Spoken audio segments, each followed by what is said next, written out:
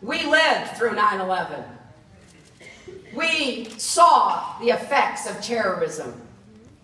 I met the thousands of family members who bid farewell to their loved one that morning and then saw those planes fly into those towers.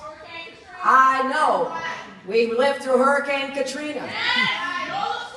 We have had a lot of challenges.